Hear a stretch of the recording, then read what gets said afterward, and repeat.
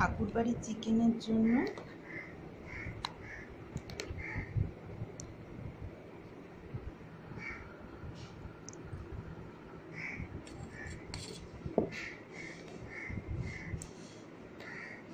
অনেকটা পরিমাণে বেশ লাগবে একটু। টক দই।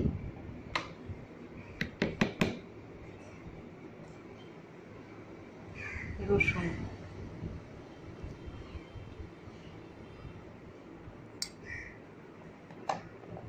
এটা দিয়ে ম্যারিনেট করে রেখে দিলাম। ধুরা ঠাকুর বাড়ির চিকেনটা করার জন্য এই যে আমি চিকেন, দই আর রসুন দিয়ে ম্যারিনেট করে রেখেছিলাম। নুনটা আমি পরে দিই, তাই নুনটা দিইনি। যদি আপনারা চান, নুন দিয়ে দেবেন। এইটা আমি দিয়ে দিচ্ছি।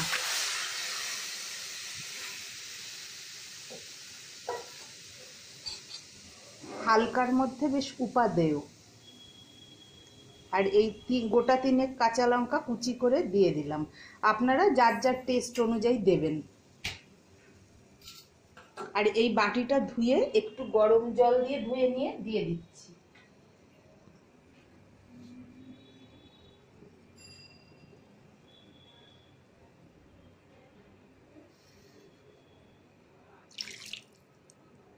গরম জল দেবেন কিন্তু হ্যাঁ?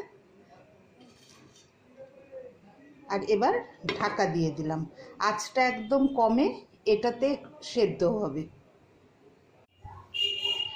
বন্ধুরা, এটা বেশ ফুটতে আরম্ভ করে দিয়েছে। আমি এবার নুনটা দিয়ে দিচ্ছি।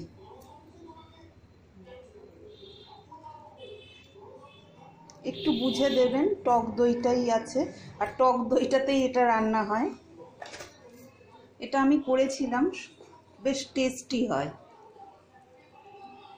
খেতে।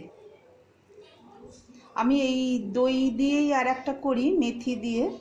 মেথি, রসুন আর দই, মেথি ফোড়নের।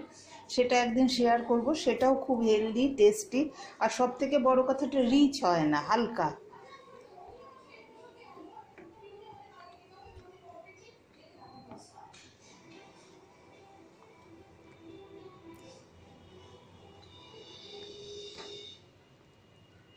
তেল ছাড়ছে দেখেছেন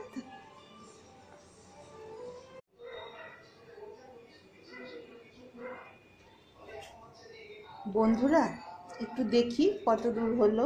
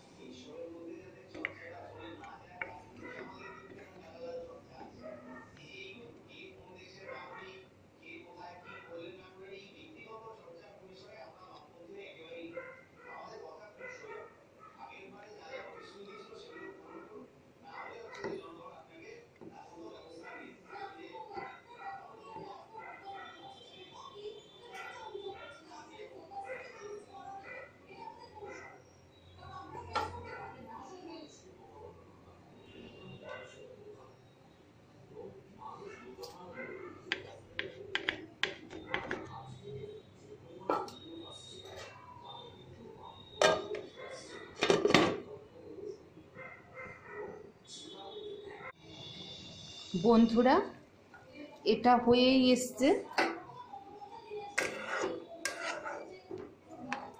আর একটু ঝোলটা যখন থাকবে সেই সময়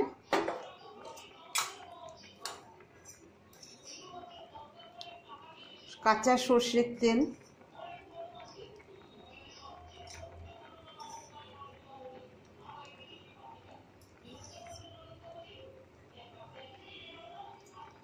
তেলটা একটু বেশি লাগবে তেলের গন্ধ বেরোবে।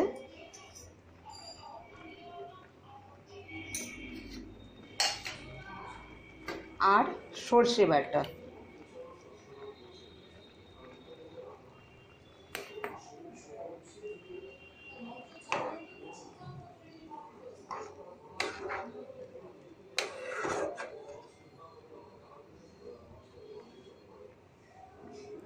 আর আর একটা জিনিস লাগবে কাঁচা লঙ্কা।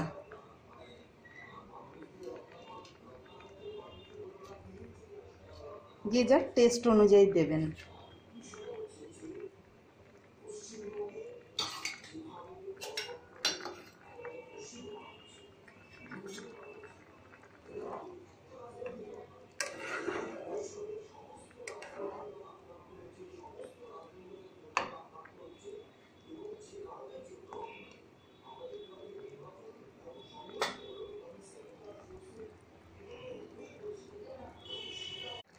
বন্ধুরা, তৈরি হয়ে গেল ঠাকুরবাড়ির মাংস।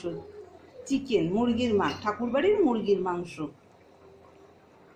এটা আমি একটু ঝোল ঝোল রাখলাম, অল্প ঝোল, বেশি নয়। আপনারা ইচ্ছা করলে আরও শুকিয়ে নিতে পারেন। তবে সর্ষে, কাঁচা লঙ্কা, সর্ষের তেলটা দেওয়ার পরে যখন ফুটবে, গন্ধটা দেখবেন, দুর্দান্ত গন্ধ। এই প্রসেসে রুই কাতলাও করা যায়, সেটাও একদিন আমি করব। কিন্তু গন্ধটা যেমন সুন্দর টেস্টও আর নুন, ঝাল, টক, মিষ্টি নিজেদের টেস্ট অনুযায়ী করে নেবেন। তৈরি হয়ে গেল ঠাকুরবাড়ির মুরগির মাংস।